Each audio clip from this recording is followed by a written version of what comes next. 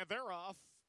That is Flying Scooby Doo to the front on the inside. TV Texan gets the lead. Flying Muggy, followed by T's flying over, along with WWE's Leprechaun and Coach Harry and CTW Take My Heart.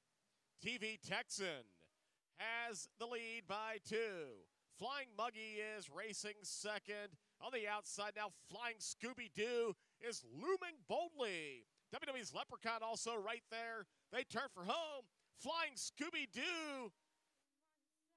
His swagger continues to burgeon as he's winning number four in a row. WWE's Leprechaun finished second. 7 1